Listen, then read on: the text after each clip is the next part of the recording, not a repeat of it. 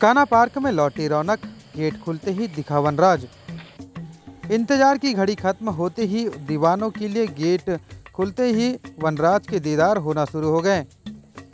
जी हाँ हम बात कर रहे हैं टाइगर रिज़र्व में से एक विश्व प्रसिद्ध काना राष्ट्रीय उद्यान की, जहाँ गेट तीन महीने के इंतज़ार के बाद पर्यटकों के लिए एक अक्टूबर से एक बार फिर से खोल गए हैं, जहाँ काना में खटिया, मुक्की और सरही गेट से पर्यटक पार्क की सैर कर रहे हैं।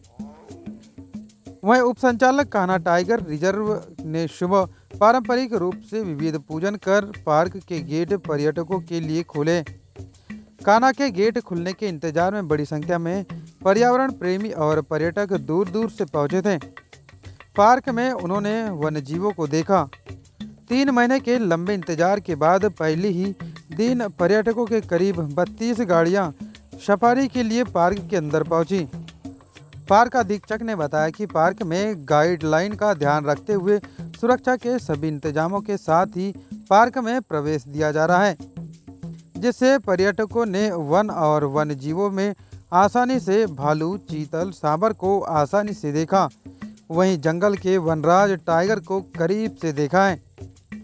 वहीं आपको बता दें कान्हा नेशनल पार्क बारिश के मौसम में प्रबंधन की दृष्टि से 1 जुलाई से 30 सितंबर तक तीन महीने पर्यटन के लिए बंद रखा गया था। जहाँ बारिश का मौसम खत्म होते ही 1 अक्टूबर से पार्क सामान्य तौर पर पर्यटकों के लिए खोल दिया गया है। आइए कान्हा की कुछ तस्वीरें हम आपको बताते हैं।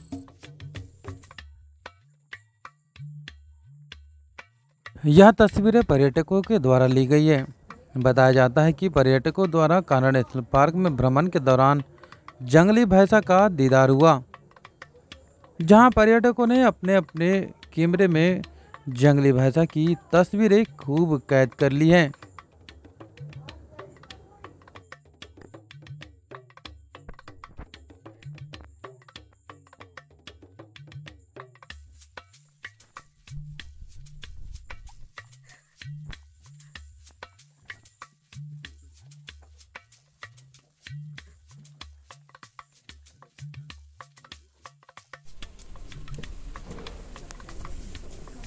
बारिश के थमने के बाद अब कान्हा नेशनल पार्क के गेट खोल दिए गए, जहाँ पर्यटकों के द्वारा कान्हा नेशनल पार्क का खूब आनंद लिया जा रहा है।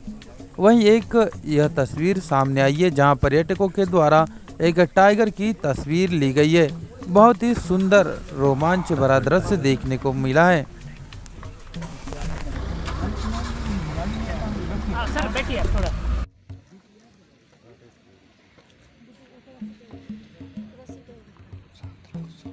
Sıcak bir dudak.